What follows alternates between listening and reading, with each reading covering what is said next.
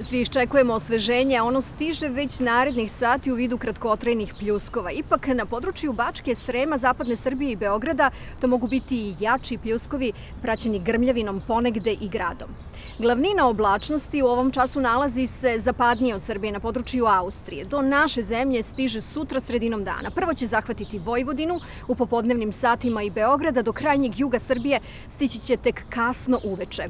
I zato će sutra u Vojvodini biti sasvim prijatnih 29 stepeni, dok će na području Niša i Leskovca i sutra biti tropski toplo sa 35 u najtoplijem delu dana.